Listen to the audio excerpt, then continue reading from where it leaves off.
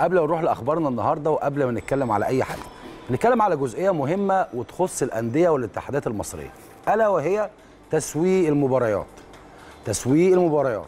بمعنى إن الاتحادات المصرية النهارده بره طبعا أكيد كرة القدم أكيد كل الأندية في مصر عايزة ماتشاتها على أرضها. بمعنى حقوق التسويق بين الاتحادات وبين الأندية تتلخص في الاتي إن أي مباراة على أرض أي نادي هي حق النادي. حق النادي.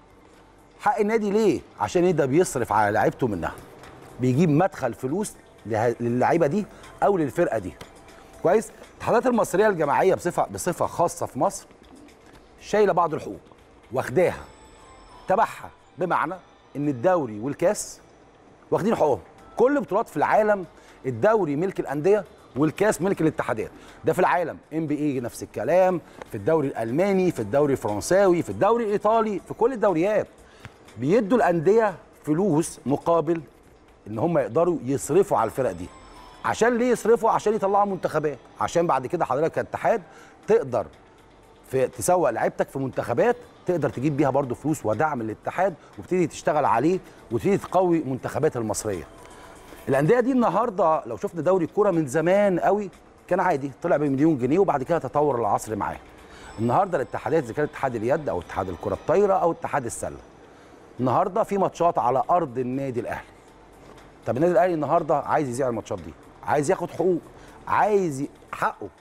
فيقول له آه والله ما ينفعش ما ينفعش تنقل الماتش. طب أوكي ما ينفعش تنقل الماتش حضرتك بايع. طب اديني فلوس. هي هي سهلة هي العملية سهلة.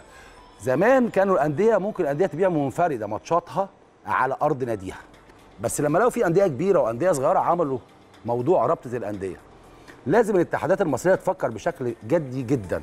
إن هي وهي بتاخد فلوس لنفسها لازم الأندية في دوري المحترفين في الثلاث ألعاب جماعية ياخدوا فلوس عشان يقدروا يعوضوا فارق الفلوس لأن العملية بقت صعبة وبقت الأرقام كبيرة جدا وبتعلى. ده مش بيزعلنا كنادي أهلي لكن إحنا بنقول إن ده حق للنادي إن ماتشاته على أرضه تتذاع. تبعه هو اللي يقرر. لكن حضرتك النهارده هتقول أصل ده موجود في اللائحة. أصل ده موجود في حتة الفلانية. أنا آسف. حضرتك الوضع ده في العالم كله. في أي دولة في العالم في بطولتين. في بطولة اسمها دوري وفي بطولة اسمها كاس. الدوري يدوه للأندية. ليه يدوه للأندية عشان يساعد ويصرف على اللعبة عشان ياخد لاعبين متميزين يروح بيها المنتخبات. فيقدر يعمل منتخبات قوية. وحضرتك بتاخد دعم مختلف شوية من الدولة فبتبتدي تصرف على منتخباتك بشكل مختلف. بطولة الكاس بتاعتك كلها كاتحاد. لكن النهارده لازم شوية تاني الاتحادات تراعي هذا الموضوع. لما تيجي تعمل تسويق للماتشات لازم الأندية تاخد حقوق. أو أقل حاجة الأندية لازم يكون في موافقة كتابية من النادي إن هو بيبيع حقه. لأن ده المنتج بتاع النادي. منتج النادي اللعيبة دي هو اللي بيصرف. هو اللي بيصرف على اللعيبة دي. هو اللي بيدفع عقودها. هو اللي بيصرف عليها. هو اللي بيديها كل حاجة. وفي الآخر حضرتك بتاخد اللعيبة دي بتنقي من اللعيبة دي كلها منتخب مصر. فلازم الأندية يبقى ليها حق. هنفتح الملف ده مع كل الناس مع كل رئيس اتحاد.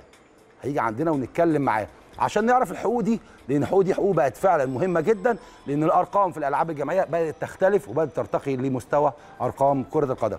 نتمنى من رؤساء الاتحادات الثلاثه الجماعية تاني أهو يشوفوا بصة وينظروا نظرة لكل الفرق. مش بنتكلم عن النادي الأهلي بنتكلم عن النادي الأهلي وكل أندية الدوري في كل الألعاب.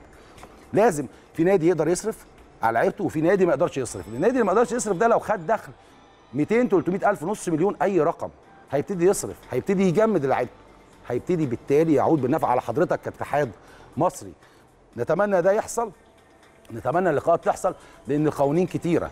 قوانين والرياضة لما نزلت أو قانون الرياضة لما نزل ادى حقوق كتيرة للأندية وادى حقوق كتيرة للاتحادات. نتمنى مرة تانية نراجع نفسنا عن هذا الموضوع. موضوع التسويق ده موضوع مهم جدا وهيتفتح عندنا هنا في ألعاب الصلاه